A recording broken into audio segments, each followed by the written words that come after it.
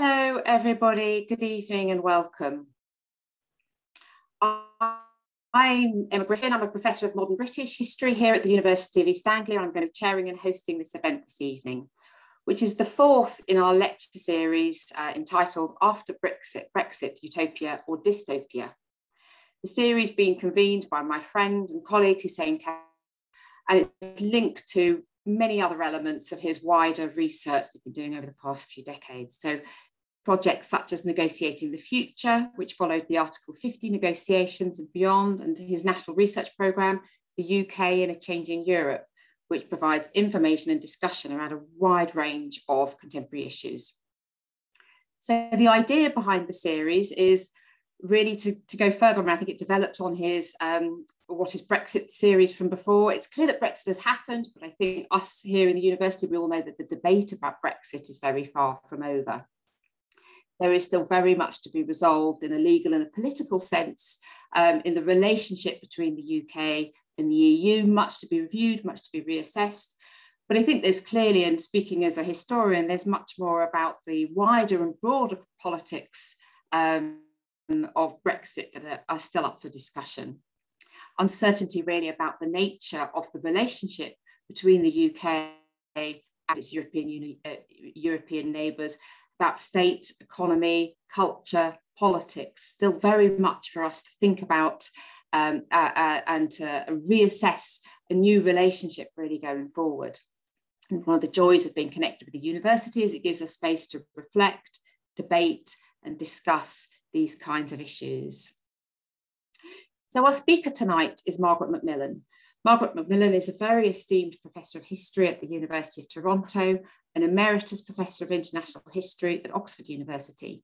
She has served as the provost of Trinity College Toronto between 2002 and 2007, and also as the warden of St Antony's College in Oxford from 2007 to 2017. She's currently a trustee of the Central European University and of the Imperial War Museum. Her research specialises in British imperial history and the international history of the 19th and 20th centuries. Her many publications include War, How Conflict Shaped Us, Paris 1919, and The War That Ended Peace. She gave the CBC's Massey Lectures in 2015 and the BBC's Reith Lectures in 2018. Her many awards include the Samuel Johnson Prize for Non-Fiction and the Governor General's Literary Award. She has honorary degrees from several universities and is an honorary fellow of the British Academy. She is also a companion of the Order of Canada and a companion of honour of the UK. So she's going to speak to us tonight for 45 minutes. The lecture looks at Britain and the British Empire as a global hegemon in, in late 19th and early 20th centuries. She's going to be looking at the disappearance of empire and the legacies of that disappearance on British thinking and policies and what global Britain may mean today. And I'm sure you can um, join me in thinking this is going to be a fascinating contribution to understanding and under, uh, unpacking uh, the, the, the Brexit moment that we're living in today. So over to you, Margaret. Thank you so much, Professor Griffin. And thanks to the University of East Anglia for having me to speak. I only wish I were there um, in Norwich, but here we are. We've, we've all got used to zooming this way and that. I want to explain why I'm taking an historical approach um, to the question of what happens after Brexit. Brexit. Will there will there be a utopia or a dystopia or perhaps something in between? And that's because I think history can be helpful. And I think in the whole debate over Britain's place in the world, which was part of the debate over Brexit and the whole debate over Brexit itself, many themes have come up which have been there throughout British history. What is interesting, I find, is that the very term global Britain hasn't, in fact, been that used, used that much, although, as we'll see, many of the elements in what makes up global Britain have been used and are still being used, and I think will be used in the future. I don't know how many of you have discovered um, something that Google offers called Ngram. It's absolutely fascinating. Um, it can be a tremendous waste of time. But what you can do is use the giant Google database of all the books that they digitized and articles they digitized and search for certain words or search for certain combinations of words. And so a few days ago, I thought I'll look up global Britain and see where it appears. And I found it absolutely fascinating. There is virtually nothing, there is virtually no reference to global Britain before about 1938. And then it begins to slowly, slowly rise. And so from 1938 onwards, as the international situation got worse and as Britain moved into the Second World War, during the Second World War itself and after the Second World War, there were more references to global Britain, not all that many. It's only in about 2011 that mention of global Britain really takes off. And if you do it for yourselves, just put in global Britain. You have to use a capital B because this particular one is very sensitive to cases. And you will see it suddenly goes up. By the time of the 26th referendum, use had increased eightfold since 2011. By 2019, 13-fold. And I think that says something about the sort of arguments that were being made around the referendum and the ways in which I think, particularly by supporters of Leave, the notion of a global Britain was used more and more as justification for Britain to leave the European Union. It's become, I think, also a post facto justification for Brexit. In other words, once the vote had been done, once that long and very difficult process of disentangling Britain or the United Kingdom from the European Union had begun and had become much more complicated, I think, than many people had expected, as it became clear that the European Union was not going to roll over or fall into pieces with different countries negotiating separately with the United Kingdom. The notion of a global Britain, I think, became more and more important as a justification for having this attempt, um, a successful attempt by now, of course, to leave the European Union.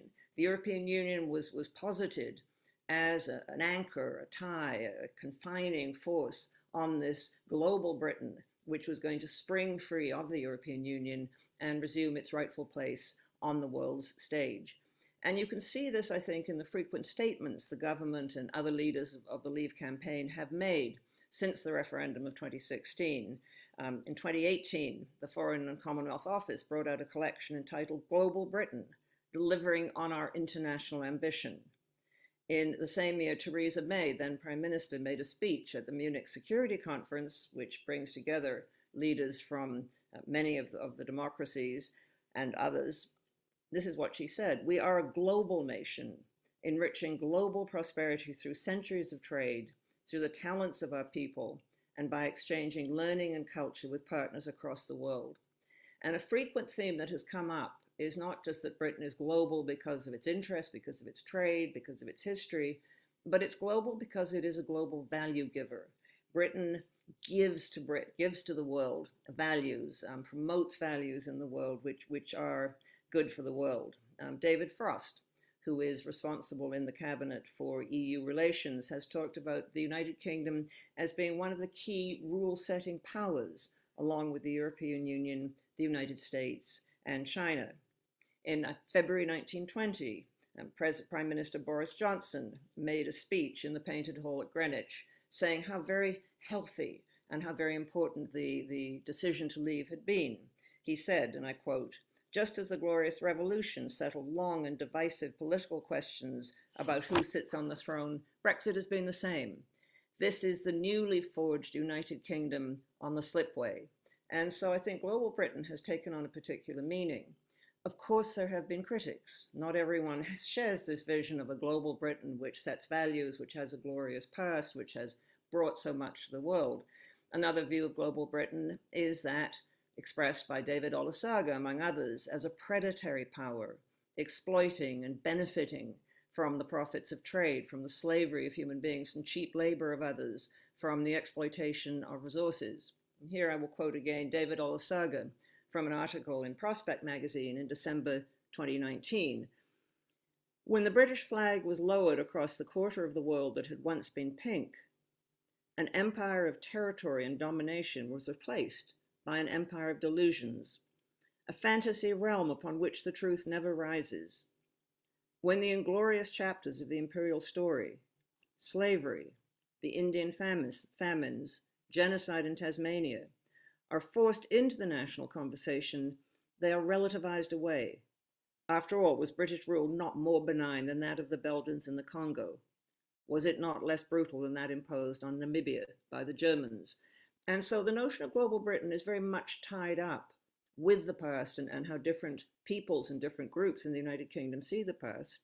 And I think there's a third component to global Britain, which of course is right here in Britain. Um, you've had for centuries people from the world coming to live in Britain, partly because of Britain's connections with that world. I'm Canadian. Many Canadians moved to Britain, the movement of peoples did not only ever go one way. And in the composition of the British population today, you can see just how important those global connections were in the past. The presence of people whose ancestors came from Pakistan, Bangladesh, India. These are all testaments, I think, to this very complex relationship on many levels that the United Kingdom or Britain has had with the rest of the world. What global Britain means is something that draws, of course, on the past, and, and the relationship of Britain, the United Kingdom, to the world has had a great many different aspects. Um, indeed, just to make it complicated, these islands have had a great many different names. People have talked variously of England, as they tended to in the 16th century, Great Britain, as they did after the Act of Union, the United Kingdom, as they did also by the 17th century. I'm wondering now if we may be reverting back to talking of England again, um, with the possibility of Scotland and Northern Ireland facing perhaps different futures, but that's perhaps a topic for another lecture. What are these elements? Well, they are variously everything from geography to culture. Some are more important than others in certain periods. They change over time. And of course, they're affected by changes both here in the British Isles, but also in those parts of the world which the British Isles have been interacting with. Clearly, geography and sea power have played a very important part in obliging the British Isles to, to look outwards rather than inwards. Um, it has insulated them perhaps from some of the outside world, but it's also been a way in which they have been able to travel out. We should re- recognize, I think, that the British Isles have never, at least since classic times, been insulated from a wider world. They were part of the Roman Empire. Even before they became part of the Roman Empire, the upper classes in these islands were already becoming Romanized in their tastes, in their attitudes, um, already beginning to trade with Rome we tend to see, and I think this has been the case perhaps in more recent history, we tend to see the channel as a barrier. But for much of history, it was a highway. It was much safer and much easier to travel by water than by land.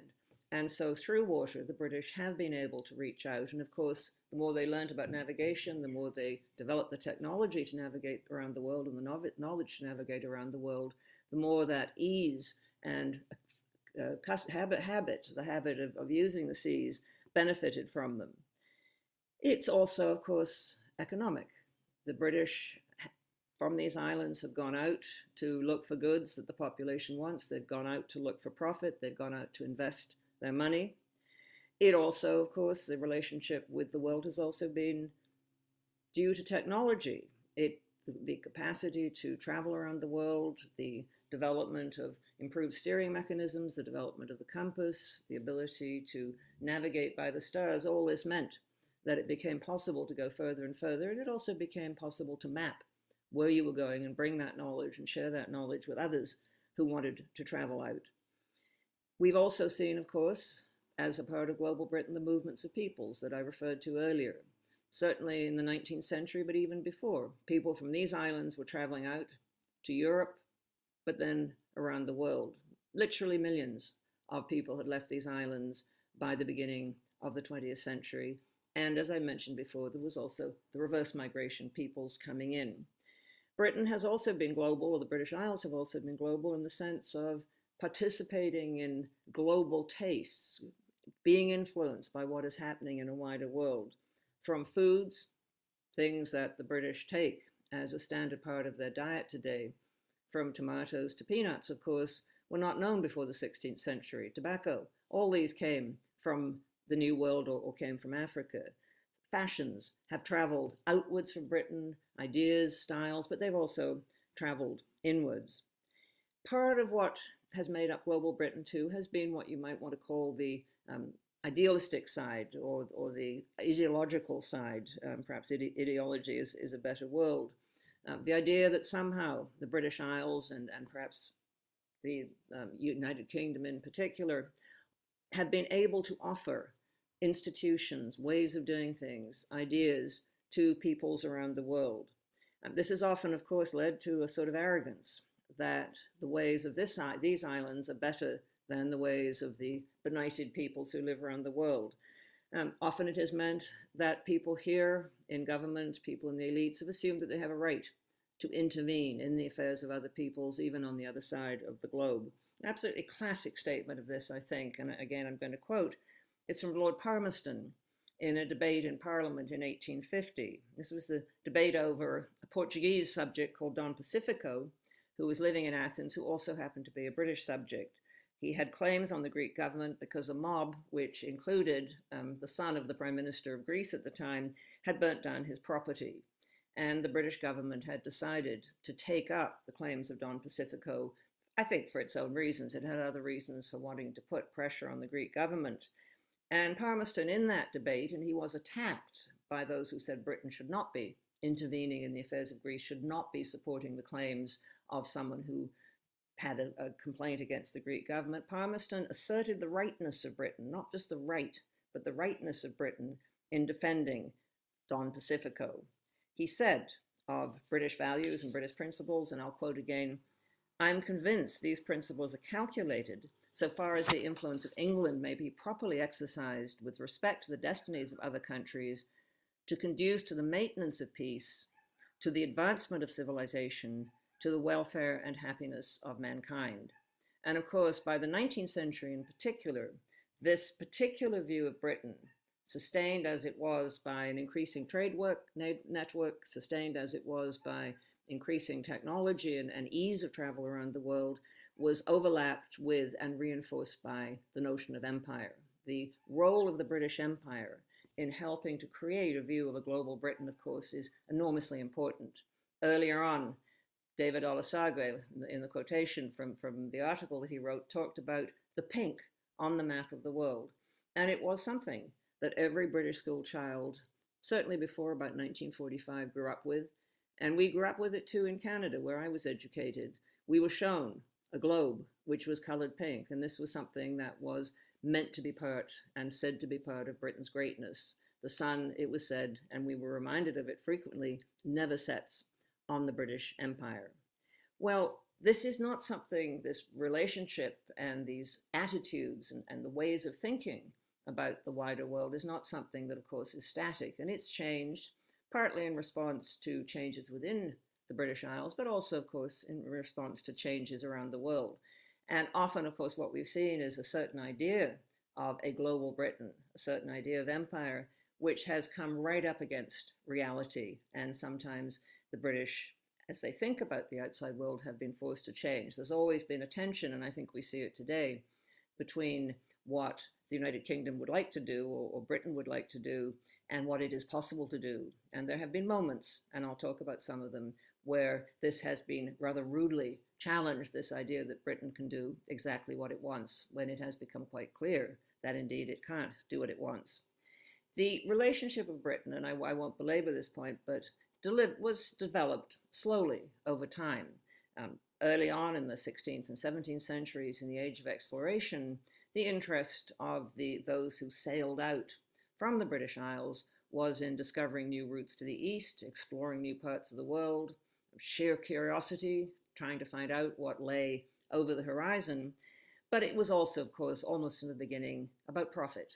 A number of the early exploratory voyages were made by companies, joint stock companies that invested in ships, invested in the captains, invested in the men who went out and sailed around the world and hoped to find profit.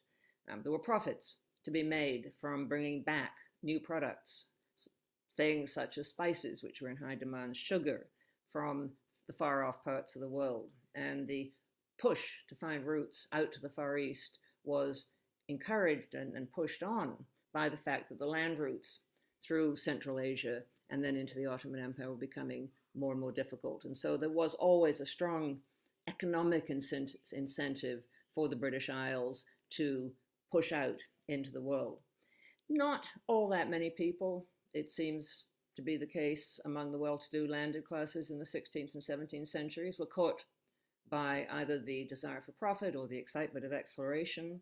And there was, I think, less sense, certainly in those centuries, that the British or the English had superior values which somehow should be a model the rest of the world. There were always exceptions, of course. There were the militant Protestants who believed that souls needed to be saved, not just for Christianity, but saved from the Catholics, who were themselves, of course, in the shape of, of Spanish and French explorers and, and, colonists trying to save souls, um, moved by, by hostility to Spain. But I think what you saw in the early parts of the expansion, the 16th and 17th centuries, was the opening of a sensibility among the English and, and to a lesser extent, I think, among the Scots and the Welsh, that the British Isles were not just a part of Europe, but they were, in fact, part of a much wider world. Once the routes to the Americas were opened up, once the routes to the Far East were opened up, then Britain began increasingly to conceive of itself, and certainly parts of the elites began to conceive of themselves as part of a world order rather than simply European, uh, European order. Um, by the 18th century, the British who were going out were beginning to put down roots. Not that they necessarily wanted to, but if you're going out to trade, you have to establish some warehouses on land, you have to establish relationships with people on land. And so gradually, if you look at the maps, the British began to establish posts around, for example, the coast of the subcontinent. They began to establish posts in Asia. They began to establish posts along the coasts of, of North, the east coast of, of North America. And what happened, and I think the Chinese are finding very much the same thing today, is that they got drawn into local politics. They may have come for profit, but in order to safeguard those profits, in order to safeguard the trading routes which led into the interiors, they found themselves more and more drawn into local politics. And so in India and in the Americas, um, those who were coming out from the British Isles found themselves increasingly becoming part of local politics and increasingly their influence and their settlements began to spread out. Um, and as I say, I think the Chinese are finding rather the same thing in uh, today. The Seven Years' War, fought in the second half of the 18th century between the British and the French, I think can be described truly as the first global war. It was a war that was fought in India, fought in the East, but also fought in the Americas, fought in the West Indies, fought in Canada, fought, well, what became Canada, and fought, of course, at sea. And so you begin to get the foundations being laid for what was going to be the tremendous expansion of the 19th century. And what made that tremendous expansion possible was, of course, huge technological changes. The Industrial Revolution, the introduction of steam, which made sailing much more predictable, uh, made it much easier to move around the world, the introduction of railways on land, the introduction of the telegraph, which began to link the world in a communications network, I think as great an innovation in its own way as the internet today, um, because it brought a world together in ways that it had not been before. And it brought it together so that news spread almost instantaneously around the world. Europe itself, of course, was changing in other ways. The emergence of increasingly nationalistic states, the spread of public participation, the spread of literacy, all meant that outward events, external events, were no longer just something that small elites or a few people were concerned with. Increasingly, they became things that larger and larger publics were concerned with. What you also got by the 19th century was a shift in the attitudes to other peoples. In the 17th, 16th, 17th, 18th centuries, when people from the United Kingdom encountered indigenous in Canada, in the, in the Americas, and encountered um, the peoples of the Mughal Empire and the other independent Indian company in Indian nations in, in, in the subcontinent or when they encountered um, the Chinese Empire, they did so very much often as supplicants, not with a particular sense of superiority. In fact, for much of the period up until the 19th century, Europeans, and it was true of, of other Europeans as well as of, of the British, going out around the world, did not see themselves as superior. In many cases, they were overawed by the magnificence of what they saw.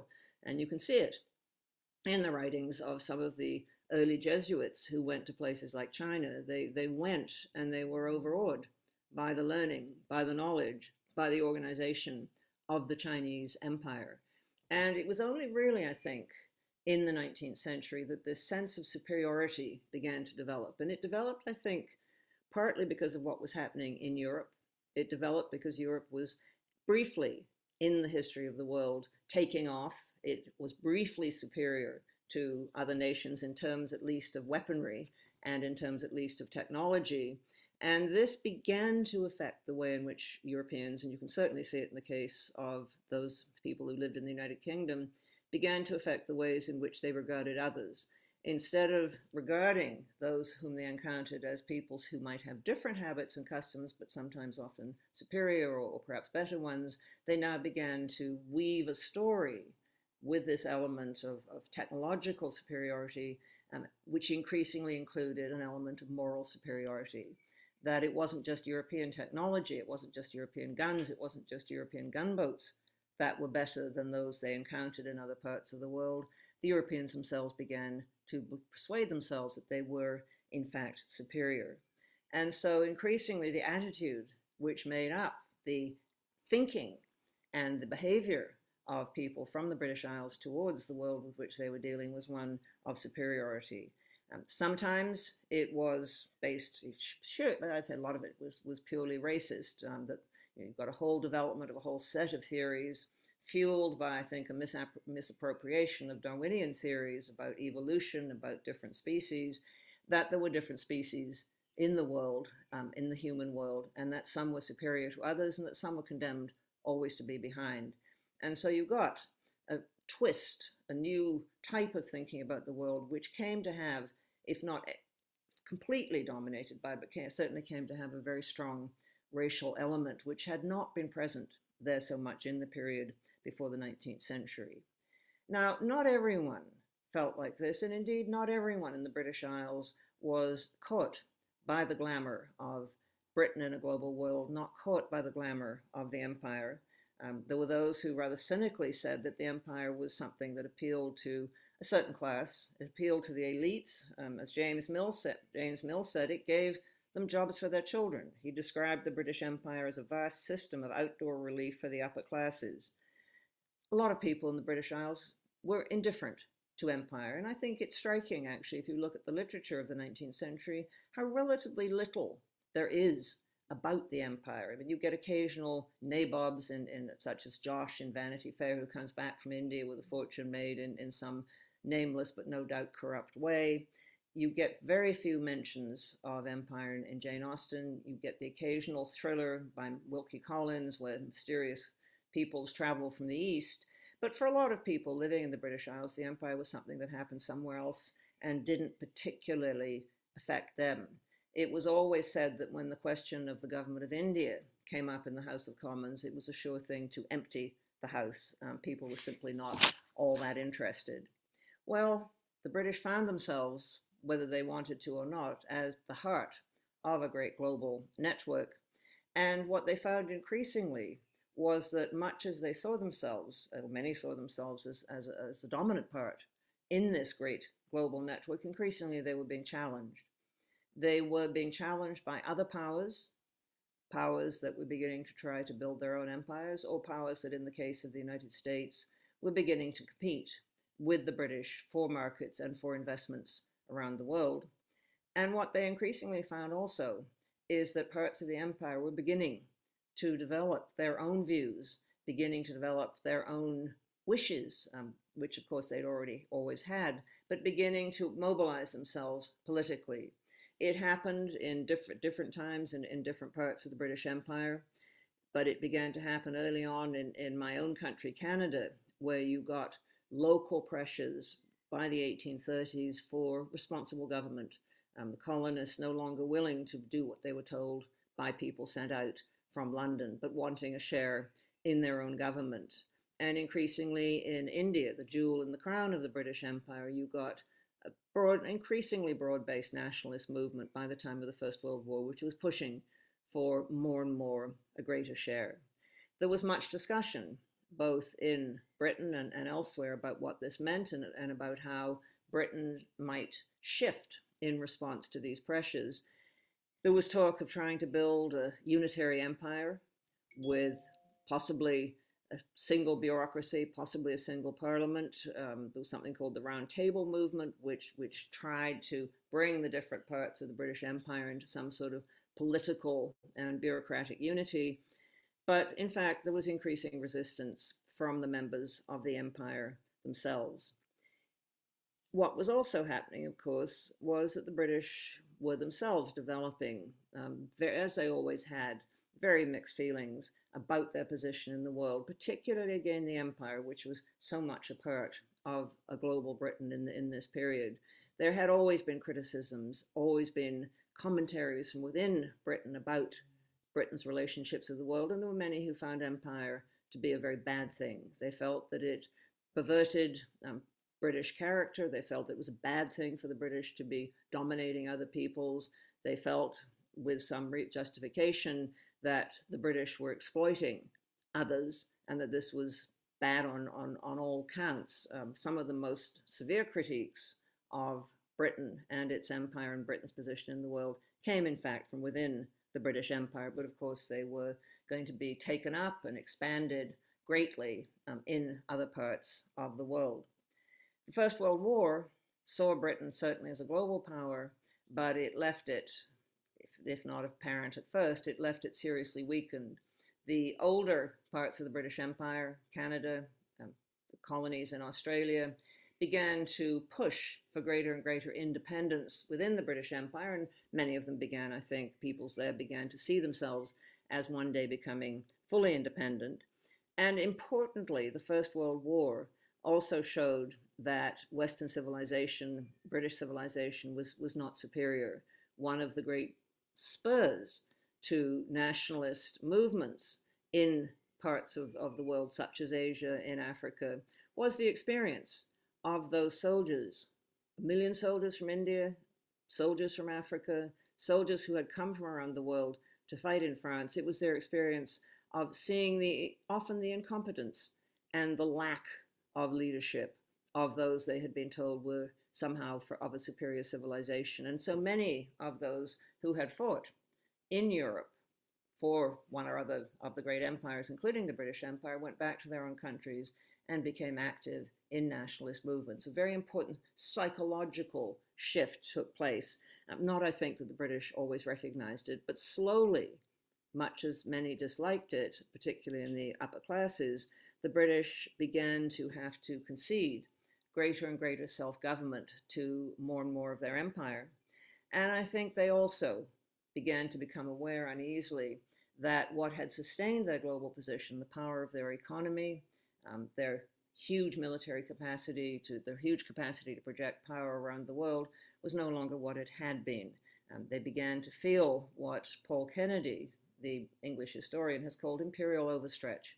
And they began to find the burden of empire was beginning to weigh very heavily, particularly, of course, as they confronted a worsening situation near at hand in Europe and a parallel worsening situation happening in Asia with the rise of Japan and the growing hostility between Japan and the Europeans and the United States. The Second World War again saw Britain as a global power, but again was going to undermine many of the foundations on which that global power rested. The British fought very bravely and with the help of the empire after France had fallen. But when the United States entered the war and became more and more involved both in Europe and the Pacific, the British increasingly took second place. They increasingly had to borrow from the United States. They increasingly had to rely on the United States. And what the Second World War saw, although again not everyone realized at the time, was a shift in power, financial power, military power, world power, away from Britain and the British Empire towards the United States and the other, of course, great superpower, uh, superpower of the Soviet Union. Churchill continued to maintain that he was not going to preside over the dissolution of the British Empire, and the British continued to see themselves as a global power. But as I said earlier, increasingly that came up against reality. And there were going to be, I think, seven certain key moments in this after 1945. Um, the British began to realize that they could no longer maintain the role that they had maintained. In 1947, for example, as they tried to withstand Soviet pressures both in Greece and Iran, they were forced to call on the United States because the British could no longer bear that burden. Churchill had a view that Great Britain would be at the center of three concentric circles of power the United States, Europe, and the Empire Commonwealth. But in fact, those began to shift and alter. I think the special relationship was something that was particularly seen on the British side as helping to maintain Britain's global power. It has never been seen as that by the United States. In 1949, the great scientist um, Henry Tizard said, We are not a great power and never will be again. We are a great nation, but if we continue to behave like a great power, we shall soon cease to be a great nation. Let us take warning from the fate of great powers of the past and not burst ourselves with pride. It was, I think, a very good warning, and I think much of the history of Britain's relationships with the world since 1945 has been the clash, as I mentioned earlier, between that attempt to behave like a great power um, coming right up against reality. Uh, there have been, of course, and still are attempts to compensate for Britain's lessening global status. The Commonwealth, it was hoped, would become a sort of vehicle to replace the empire. But in fact, although it has done much valuable work in, in sharing poverty alleviation measures, sharing health measures, it's never become a powerful political organization. Um, the British placed great emphasis on their independent nuclear deterrent, which I've always thought was more symbolic than actual. As Ch- Churchill believed and said in 1945, having nuclear weapons is the price we pay for sitting at the top table. It has been a considerable price, and in the end, the British have had to rely on American submarines to deliver their nuclear deterrent and they've had to rely on American technology. Um, there have been various attempts also to promote the soft power of Britain as a global force. Um, Tony Blair talked about cool Britannia. Um, there have been attempts to promote British values abroad. There, have been hopes placed in the power of the monarchy um, as something that people around the world look to. And there have been attempts made, and I think still are, to use the family ties that once existed more than they did perhaps now between the British Isles and, and peoples around the world. As Anthony Eden said in 1952, our thoughts move across the seas to the many communities in which our people play their part in every corner of the world. These are our family, this is our life. But again, reality has, I think, come in to disrupt this rather optimistic picture. The United States has shown that it has looked after its own interests, not those of the British. It reneged on the nuclear sharing deal after the Second World War. British technology had helped to de- develop the American bomb, and the United States had benefited from that, um, had promised to share nuclear technology and didn't. Um, Suez, I think, was a crucial moment when the British and the French, in collusion with Israel, tried to seize the Suez Canal and the Americans were absolutely furious. They threatened to pull all their, their, they've threatened to pull their support for the pound. The Commonwealth split um, at a, a motion in the General Assembly brought by the United States demanding a ceasefire. Only Australia and New Zealand voted with France and Britain. Canada certainly did not. The empire disappeared very, very quickly and as Dean Acheson, the American Secretary of State, said, I think pointedly, and I think it's something which I think we still recognize, Britain has lost an empire and not yet found a role. It's trying to play, he said, a separate role apart from Europe based on a special relationship with the United States, being head of a Commonwealth, which, said Acheson, has no political structure, unity, or strength. This role is about played out. Successive British governments have recognized this but I think the pressure of history, the, the glamour, the light shed by the past, has sometimes beguiled them into thinking that yes, Britain can still exercise power in a global way as it has done in the past. Um, the Falklands, I think, which were a complete surprise to the British government, I think, the Falklands seemed for an instant to show that Britain was still capable of projecting its power around the world. Tony Blair's government supported the United States after, after September um, 11th, 2001, in Afghanistan and Iraq. Again, I think it was an attempt to play a global role. And the present government is, I think, continuing to search for that global role, certainly in its rhetoric, but also in its policies. And I think what we're going to see, if I may make any prediction for the future, is a continued search for some sort of global role.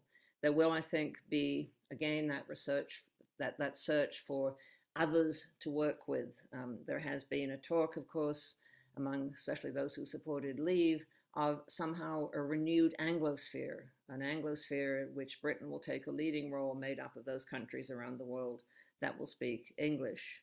There has been a rummaging through history to find reasons to explain the particular role that Britain has in the world. Um, Britain is exceptional, it's argued. It was never defeated. Um, it hasn't been occupied since 1066. It won the Second World War. It has huge strength in science and technology. It has democracy. It has wonderful institutions. Um, it has not had, as Margaret Thatcher mistakenly told um, Mitterrand of France, revolutions and rebellions like other countries have done. Um, she conveniently missed out the English Civil War of, of, the 17th century. There is, too, I think, a huge nostalgia for the Second World War, and again, I think it's something that has been played upon among those who wanted leave. There is con con uh, congruent with that a, a Churchill cult, um, Churchill as the great statesman um, who had a global vision and promoted a global Britain. And you can see it, I think, in, in a lot of the language and policies of the government. The 2021 Integrated Defense and Security Review laid out what it called a vision for global Britain.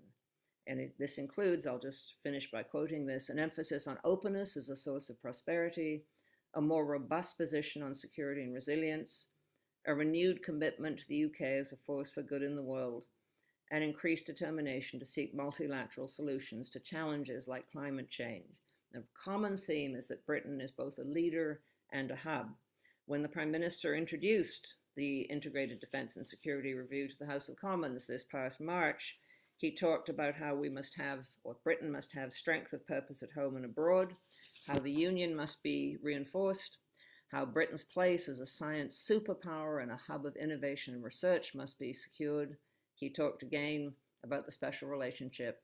And what we're seeing at the moment, and I think what we're going to see in the next few years is reality again calling into question some of that vision. It's not been all that easy to make the trade deals that were promised. The British government has just announced very sharp cuts to aid spending, which are being challenged in the House of Commons, I think today, and I'm, I'm perhaps someone can tell me what happened. And so I think what we're going to see is a Britain, United Kingdom that will, of course, continue to have global networks, will continue to be involved and engaged in the world, but perhaps will be overshadowed by the memories of a different sort of global Britain and an appeal to nostalgia, which I think on the whole will not serve it very well, but it will be something to watch. Thank you very much.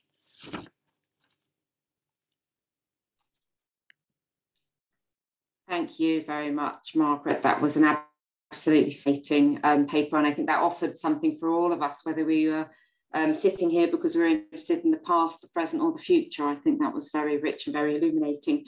So I'm going to remind our audience that we're taking our questions in through the Q&A function, and I can see things are coming in already. And whilst people compose their thoughts, I'm just going to sneak in and ask you a question myself, um, Margaret, if I may. I suppose my interest, I, I come to it from a, um, a historical perspective, um, and I love everything were saying about our experience of empire over the course of the 19th century. And I think the really striking thing about our particular histories, we have we go from being in the 18th century and earlier just a very small a very small and insignificant nation to suddenly and quite rapidly, certainly in historical terms, becoming a really large global player through the 19th century and becoming much richer than our European neighbours, which we had not been before, being demonstrably stronger and wealthier and more industrialised, more modern in many ways, for this little brief window. And then there's a, a long tail, a kind of a decline that's very apparent by the 19th century and a big long 20th century story of decline relative to other parts of the globe.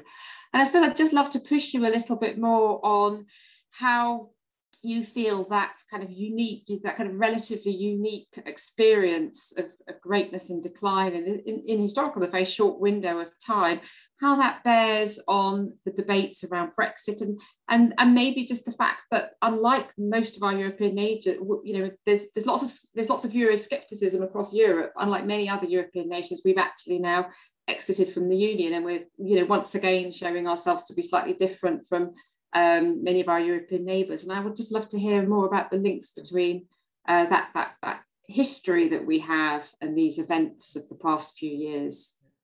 It is fascinating, isn't it, how what is actually a relatively short period in Britain's history. I mean, if you, if you take it from the sort of flourishing of the first industrial revolution, say 1830s, 1840s, to really the First World War, it's not a very long period, but I think it's become fixed in the memory, at least, of certain peoples in Britain as the norm, that this is what Britain was, that Britain was a global power, that that is what was usual. And of course, if you look back before that, I think, of course, the pattern was very different. And, and you know, the, the, I mean, I didn't go into, but, um, you know, the, the British Isles were by no means united.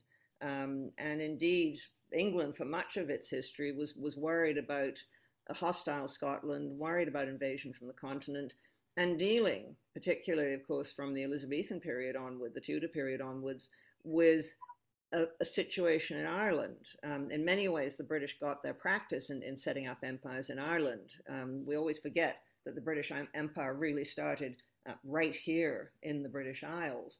Um, and it was not a secure and prosperous country. You're quite right. I mean, it was it depended very much on its trade. It was very much on the fringes of Europe.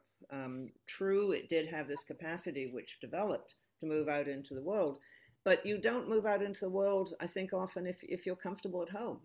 And the British, in a way, became explorers and became traders because they were looking for something better, much, much, as, much as the Netherlands did and much as the Portuguese did. Um, you know, countries that are rich and, and producing what they need at home, I think, feel less pressure to move out but it is, I think, important in, in British thinking about themselves today that the 19th century seems to overshadow so much of what is happening. And it's even cast a light backwards. I remember having arguments during the whole referendum debate with people saying, well, we'll go back to the Elizabethan age, that glorious age of conquest and exploration. And I said, it wasn't so glorious. I mean, you were spending so much time worrying about being invaded, you know, and those wonderful explorers were many of them simply pirates. I mean, they were thugs who were going out to do whatever they were doing. So I think, you know, that, that history can leave a real burden and it can shape the way you think. And, and perhaps not always quite realistically that, you know, too many people have fixed on the 19th century as the norm, to go back to your question, and not recognize that British history has had many different patterns over the centuries and, and has gone through many iterations.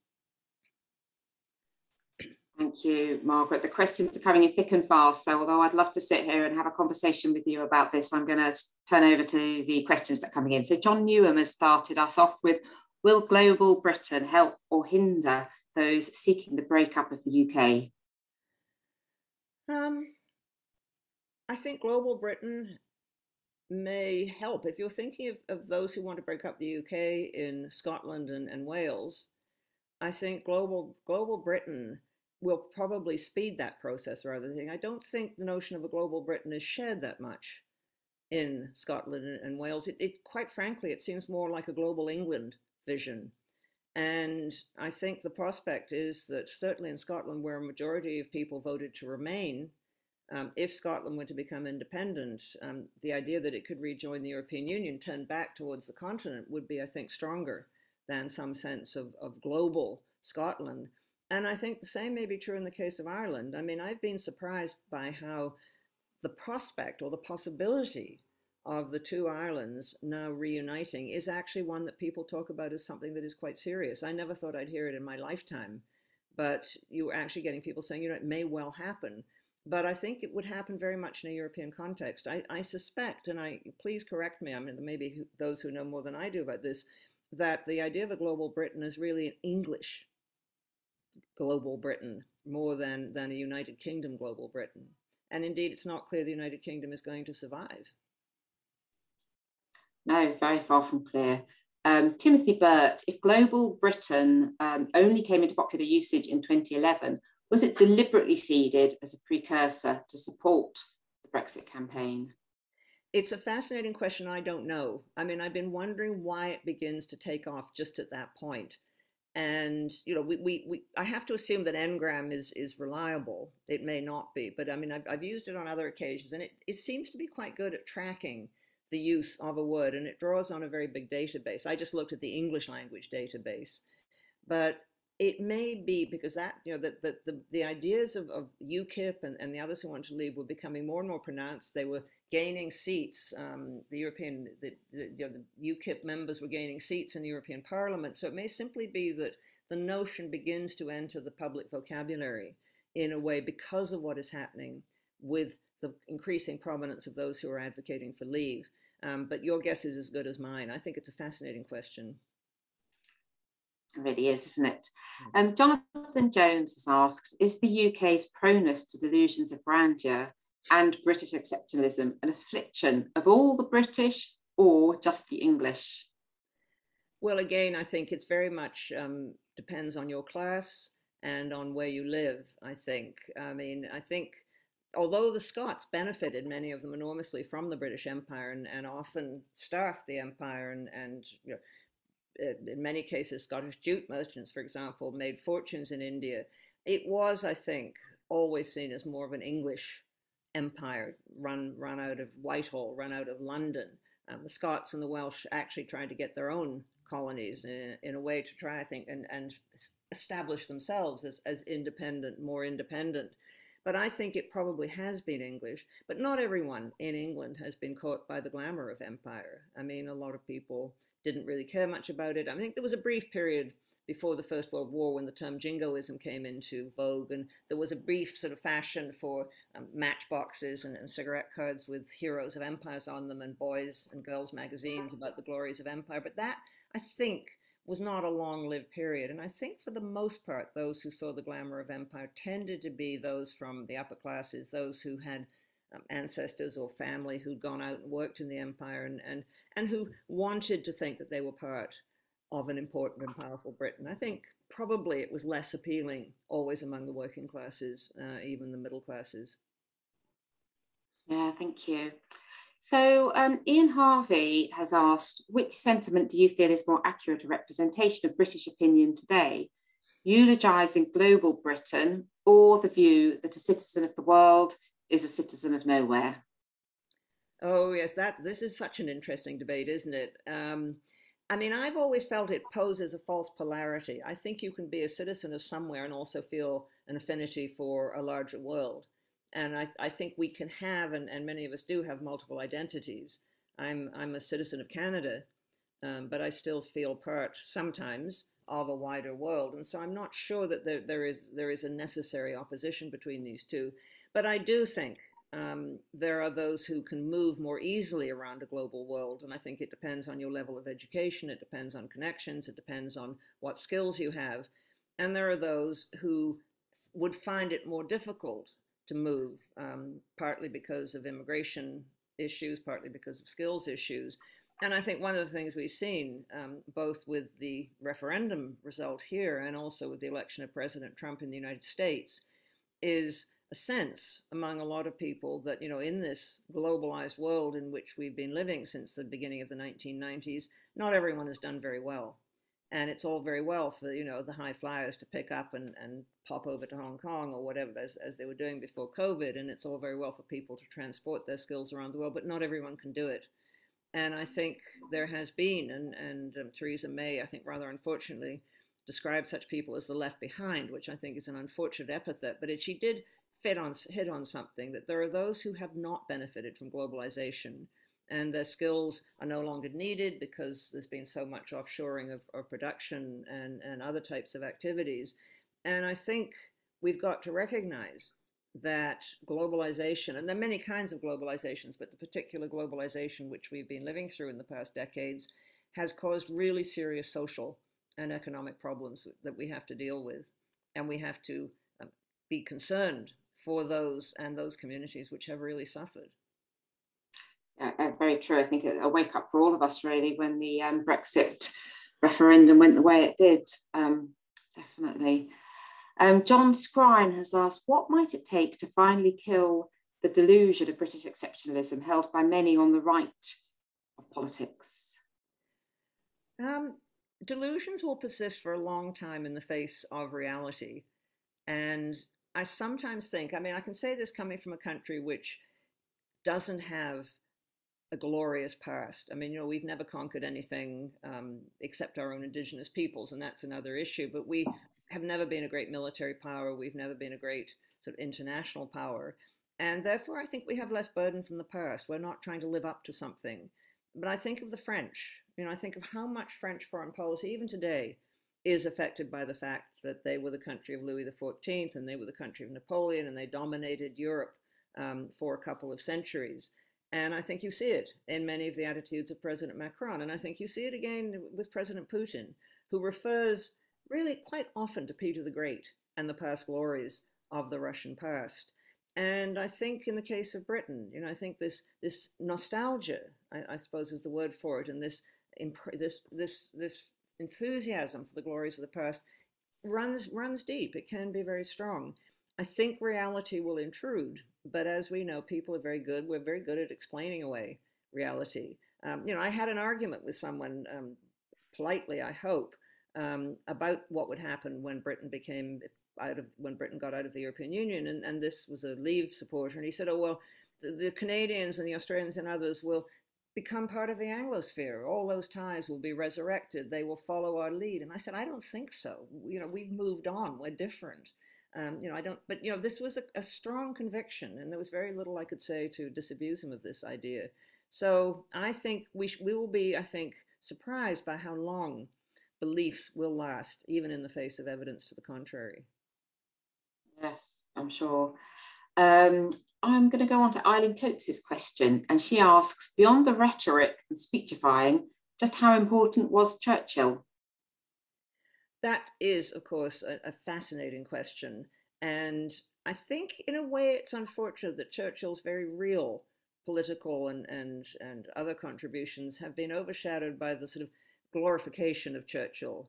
Um, now, there is a Churchill cult, um, funnily enough, even more strongly pronounced in the United States and Canada than the United Kingdom. But what that means is Churchill is increasingly seen as someone who's never wrong. And of course, we know that he was often wrong. I mean, his career was marked by mistakes. Um, you know, from Gallipoli onwards. I mean, he he wasn't always right. Um, some of his ideas during the Second World War. I mean, yes, I think his great moment was 1940 when he he decided that Britain should remain in the war and not try to come to terms with Hitler. I've always thought he made the right decision on that. But he made many mistakes in the course of the war and he nearly drove his generals to distraction with you know completely impossible strategic suggestions and i think you know he made i would argue he made a mistake in his attitude towards india um, there was i think um, certainly a racist element in that but more than that he he failed to recognize the force of indian nationalism. He failed to recognize that india was moving to, to self-government. The indians were gaining more experience in, in ruling themselves. He opposed indian independence i think in, in a very very um, reactionary way.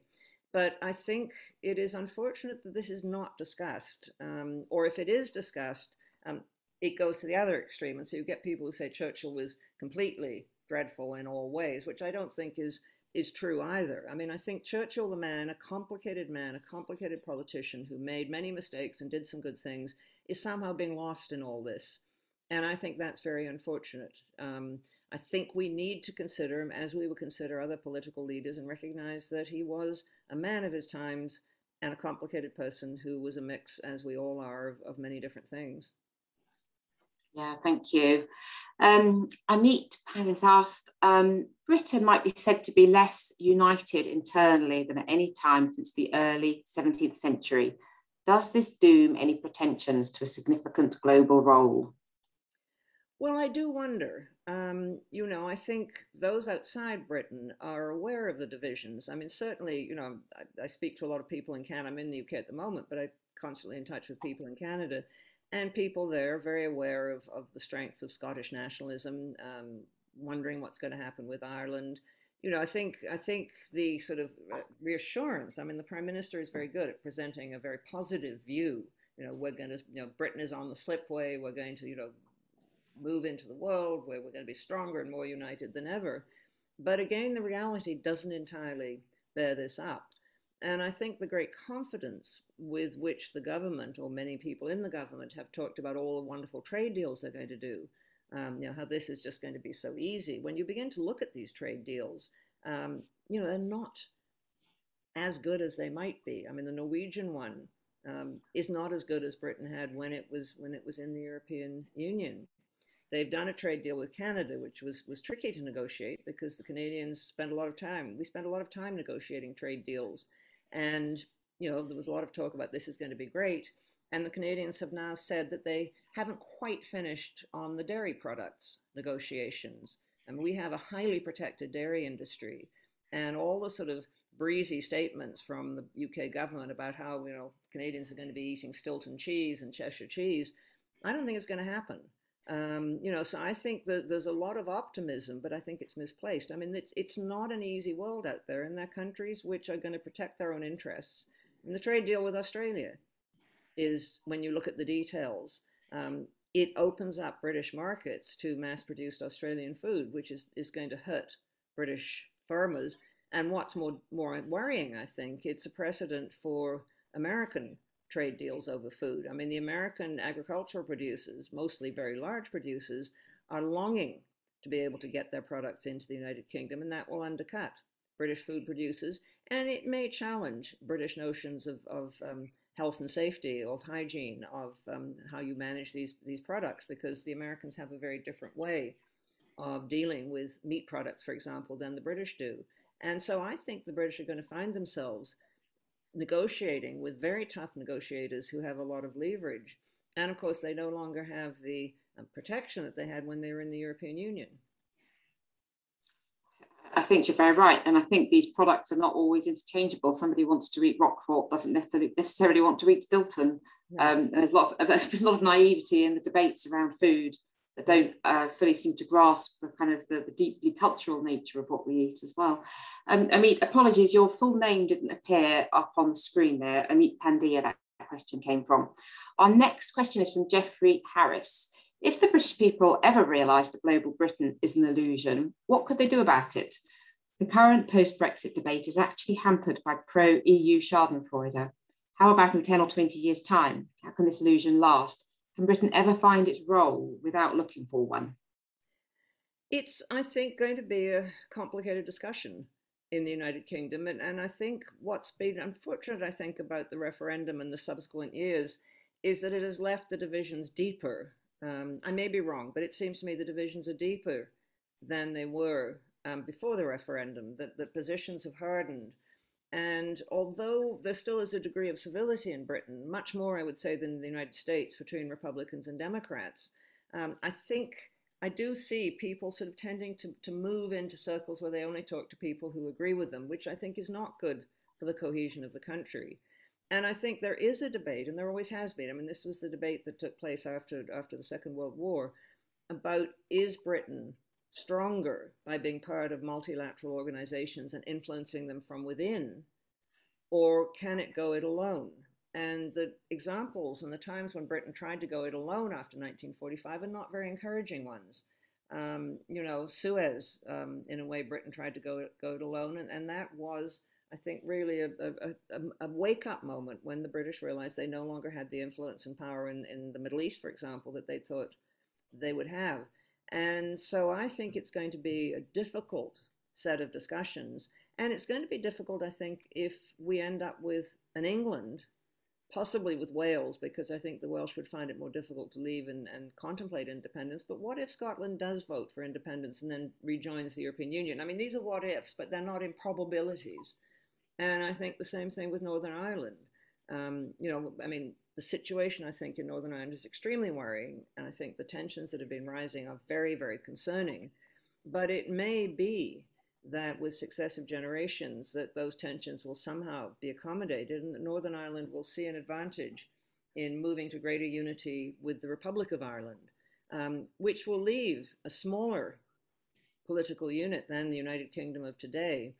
And what leverage will it have? I mean, I think you, you always need to ask this question how can you influence others to, to work with you? How can you influence others to do deals with you? And I think, you know, although Britain has spent, the United Kingdom has spent um, a higher proportion of its GDP on, on defense, for example, than most other European countries, with the exception of France, I think, although it has until recently spent a higher proportion of its GDP on, on international aid, will it be able to sustain that? And will it want to sustain it? So I think there are a great many question marks. I mean, I, I don't want to be too gloomy because I think the United Kingdom brings great advantages, and I think the very um, strength of its political institutions and, and the openness of its society is a great political advantage. But it has to be, I think, part of other sorts of things, including economic power and, and the power to deal with those you want to deal with around the world. Yes, thank you very much. Um, Andrew Ferran has put in our next question. Can a comprehensive trade visa agreement between the UK and Canada, New Zealand, or Australia be achieved? Thinking along the lines of the Irish British visa agreement. I think we already actually have um, a fairly workable um, visa agreement. Um, people from I think it's still the case, certainly from Canada, and I think the case with Australia and New Zealand, can come to the UK for six months um, without visas. Um, and so movement of, of populations is, is fairly easier. And it has been the case, I think, that I don't know if I think it's still operable. Certainly it is between Canada and, and Australia that young people can get working visas for, I think, up to three years to work in each other's countries. I mean, of course, COVID has suspended all this, and I think it's been the same with the United Kingdom. Whether we can get something more comprehensive, I think will be difficult. I mean, Canada, Australia, New Zealand all have their own well established um, visa regimes, and they all have their, their own systems. And we have over the years become very selective about who we let in. Um, you know, when I was growing up, it used to be that anyone from British Isles could move to Canada. Now we have a very rigorous point system, which in fact the um, British government, I think, has, has, has in many ways been adopting. And to become an immigrant to Canada, you have to fill certain qualifications, speak one of the two official languages, have certain skills. Um, age also helps. And I can't see the Canadians abandoning that. And as far as comprehensive trade deals go, um, you know, we have become, I mean, I think that the countries you're talking about, Canada, Australia, New Zealand, were very shocked when the British applied to join the common market in the 1960s and then again in the 1970s. Um, we'd had very little warning of it, and up to that point, a lot of our trade had been with Britain. But once Britain joined the European Union, our trade patterns began to shift. And although we still have a certain amount of trade with the British Isles, increasingly in the case of Canada, we try trade with the United States and Asia, and of course, Australia and New Zealand are also trading more and more with Asia. So, how willing those countries will be to do a comprehensive trade deal with with Britain, I think, will be interesting. And we can, I, I mean, you know, with Canadians are often seen as nice. We're actually very tough in trade negotiations. Um, we've had to be. And we have a great many full time trade negotiators, um, far more than Britain had when it voted to leave the European Union. And so we have a lot of experience at this. And of course, there's also the fact of geography, um, you know, that it is, uh, the distances are long. Um, it's easier to travel with those who are close at hand. So I think we'll have trade deals. We may well do immigration deals, but a big sort of comprehensive package, I would be surprised, quite frankly. Fascinating. Thank you. Um, Kathleen Lane has put a question in. Does the British press nowadays play a greater role in perpetuating the ideas, delusions regarding Britain's role in the world than the press of the 1920s to the 1940s? I think perhaps there's less range of opinions in the press. Um, you know, six out of the seven major newspapers, um, for example, at the time of the referendum, were in favor of leaving the EU. I think it was only The Guardian um, and possibly the Financial Times that, that made the case for Remain. And so I think on certain issues, you perhaps do have um, a heavier preponderance of, of the press um, promoting certain attitudes. And of course, there are fewer national newspapers than there used to be. But I think, you know, the press has always, particularly, I think, not, not the popular press, but also the quality press, has always had its own particular views of what, what Britain will be. And a great deal of the, of the jingoistic supporting of empire in the period before the First World War and after was reflected in the press. You know that we are the center of a great nation, um, great a great empire, and and so on.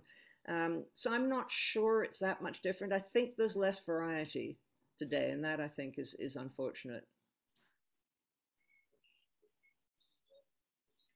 Thank you very much.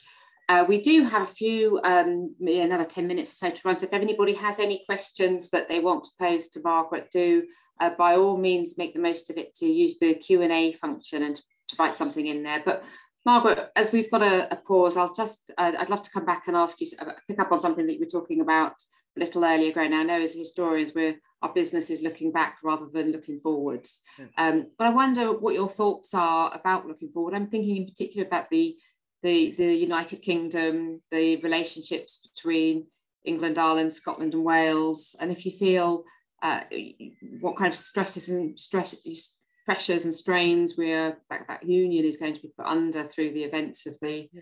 past few years and, and, what future you see there well it has been put under stress um, and i think that's become very clear and i think there is a feeling rightly or wrongly that far too much is is decided out of london and that london is too powerful economically and, and culturally and i think the present government as other governments have been is very much aware of this. I mean one of the impetuses behind um, Boris Johnson's talk of levelling up has been to try and uh, deal in some ways with those parts of the country which, which feel um, that they have been neglected or, or, left out. And the fact that so many Tory MPs now come from the former Labour seats in the north mean that I think the government is going to have to pay more attention to the north.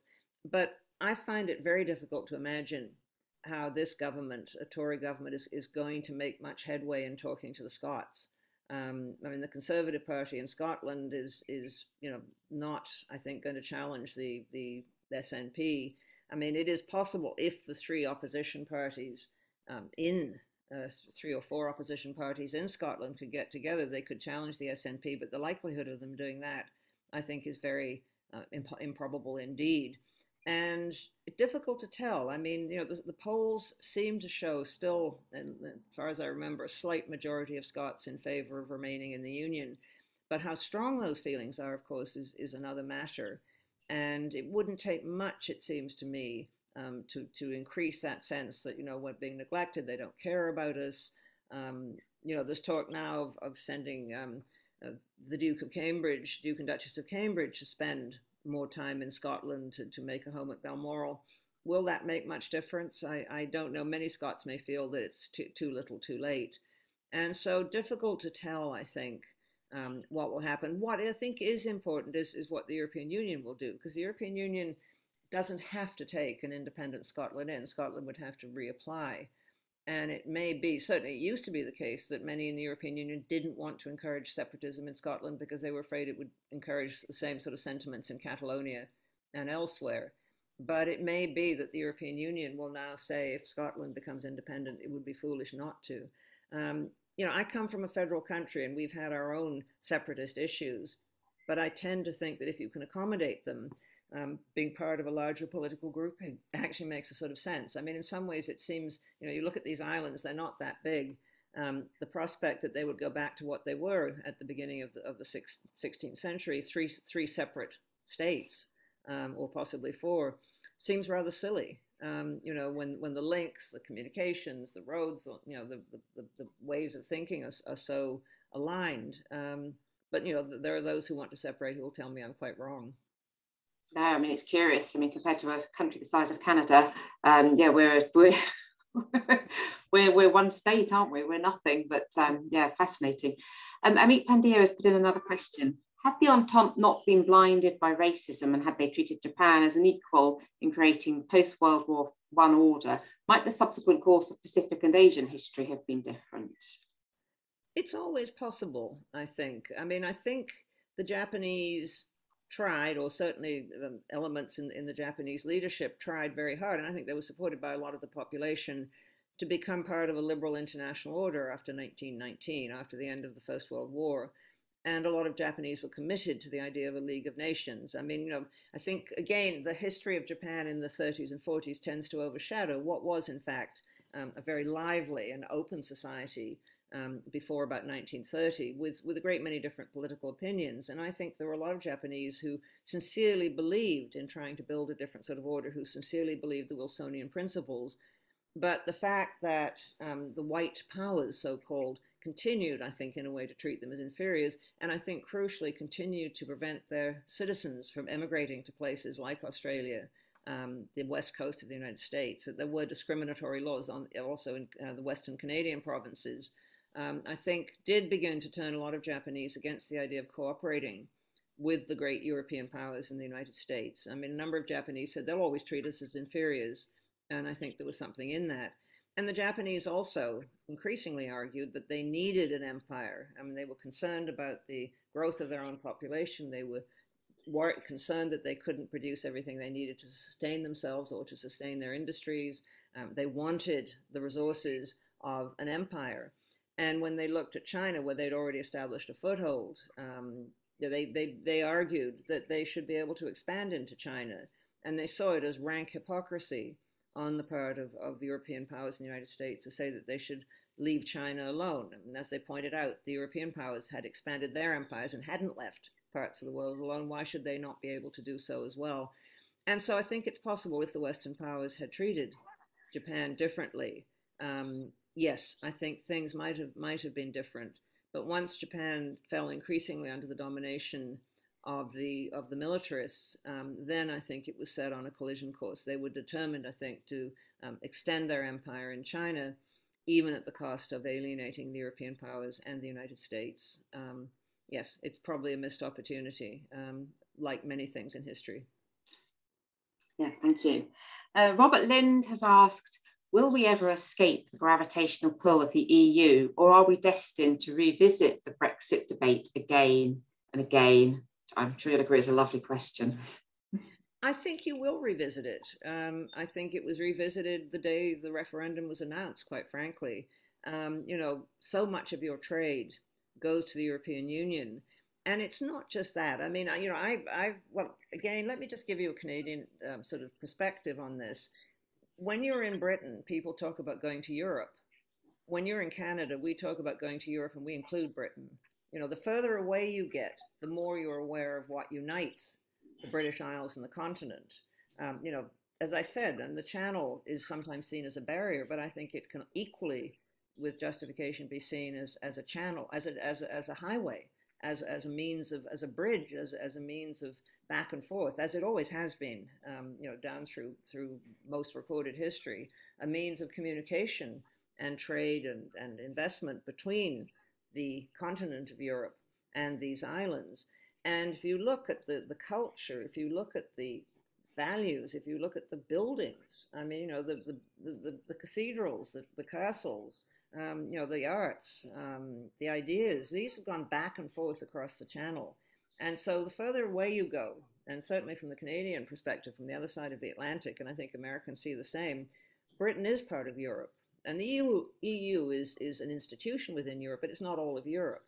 But the idea that Britain is somehow different from Europe, that it's not European, this seems to me, again, I see it from outside, seems to me really implausible. Um, it is part of Europe and it's been heavily influenced by Europe. I mean, I've always thought one of the great ironies that the leader of, of um, UKIP was someone called Nigel Farage, whose ancestors were Huguenots. I mean, just one small example of the exchange of populations and ideas that has gone on for centuries. So I think, yes, um, I think that the nature of the relationship with Europe, which, as I say, encompasses far more than the European Union, but with the European Union itself, because the European Union is, is a key part of what it is to be Europe, is something that is going to go on and I think there will be people saying, you know, as we try and get trade deals with them, why are we not just looking at something like a comprehensive trade agreement? Um, why, why are we, you know, why are we, we sort of hurt, hitting ourselves um, by making this more difficult for ourselves? You know, we're, we're getting worse trade deals than we had. Um, you know, on some things, of course, we want to align with the European Union. We, we may see Brussels as fussy and irritating, but do we really want to have very different standards in, in food hygiene? Do we really want to have very different standards in the productions of medicines? Do we really want to have very different standards in the um, treatment of criminals? And I would say, you know, on so many things, what people here in these islands want to do um, is, is very close to what people on the continent of Europe want to do. What worries me, and I may be wrong, but I'm just hope that there'll be a European Union to negotiate with in 30 years. You know, Britain's withdrawal has weakened it. Um, it's dealing with, I think, very serious problems over in the east. Um, in, in Hungary and Poland, you have countries which are not really abiding by the European values, which the European Union made a condition, the, the democratic values of, of entry. So I think there are real problems within the EU. And, and of course, it has pressure from outside, pressure from Russia. Um, Putin sees the EU as, as a foe and, and would dearly love to disrupt it. And the Chinese will, as they push more and more into the world, try and, and influence what they see as, as the weaker members of the European Union, try and put pressure on it. So let's hope that there is. I at least, well, you know, I, I think I've made my views clear. I, th- I think it's a shame you left. Um, but if you want to reestablish a relationship, I hope there's something to reestablish a relationship with. Thank you. Uh, one more question from a historian that picks up actually on some of the things that you've just um, veered towards there. What role did the 2008 global financial crisis play in the rise of nationalism we are today seeing in the US, the UK, and Hungary, for example? I think the 2008 crisis was important. Um, I think it shook people's faith in not just the financial and international financial institutions and international agreements um, that were meant to prevent such things from happening, but I think it also shook people's faith in their own leadership. Um, how could they not have noticed that this was happening? I mean, there certainly had been lots of warnings, and a lot of people, of course, suffered. Um, you know, the world made a recovery, but that didn't mean that everyone recovered. And a lot of people lost their homes, a lot of people lost their savings. But I think perhaps equally important have been the longer term effects of globalization. Um, this sense that globalization has made a lot of people very rich and depressed the wages and living standards of a lot of other people and has thrown people out of jobs, leaving them only with um, the gig economy where they do two or three part time jobs with no security, where they don't um, see any ways of, of, developing their skills. And so I think it's not just the financial crisis of 2008, which is certainly a, a warning sign, but it's also the, the, the effects of globalization, um, the rapid globalization. And I think the COVID pandemic may increase this. Um, you know, that again, I think people are asking, where were our leaders? Why, why have they not dealt with this all that well? And I think what we're seeing, we, you know, we're seeing not populism. I think luckily, um, a lot of populists got themselves into governments, and and and you know, the, the problem populists already always have is they're very good at attacking and they're very good at blaming and they're very good at saying you know the whole system is rotten. And when they get into power they then have to do something and they're not necessarily very good at that. You know the lega nord in italy um, or the cinque stelle um, when it actually got into government was was pretty hopeless. And so i think that kind of populism has suffered a setback but i think we may well see a renewed nationalism. And unfortunately the sort of covid nationalism the hoarding of vaccines the trying to blame of others i think has, has really fueled that so, you know, I think we're in for, you know, we're in for a bit of a, a turbulent time, I think. Uh, I think so very much, Margaret. Um, I think I'm going to, we've got no more questions coming in. We're just almost five to, so it's probably time for us to draw to a close. Margaret, I would love to thank you. I'm sorry we're not here in person and I can't um, uh, can't communicate with you in the way I would normally do, but that was a really fascinating and wide-ranging paper that I think we have all really enjoyed on this Tuesday evening. I'd love to thank the audience as well. I think those um, range of questions there um, and the deftness with which uh, Margaret has answered them has been really absolutely uh, fascinating to behold. And I'd also, of course, love to thank Hussein for organising such a wide-ranging series of events. Um, and really, we owe him a big debt. Before I go, I'd also love to um, remind everybody that this event, this, this series is running again in a fortnight's time on Tuesday, the 22nd of June. Our speaker on this occasion will be Dominic Grieve, QCPC, President of the European Movement, a former Conservative politician, of course, an opponent of Brexit at the time of the 2016 referendum, and certainly a very central figure in the Brexit negotiations subsequently. He's going to be speaking on Brexit, revolution without end, or a stable future. And you can book by visiting the link, which is going to be posted into the chat. The recording of tonight's event will be available for playback on YouTube uh, at a later date. Um, and in the meantime, all it is left for me to do is to wish everybody a warm, pleasant summer's Tuesday evening and to thank Margaret once again. Thanks, everybody. Thank you so much. Thanks. thanks. And thanks for all the questions.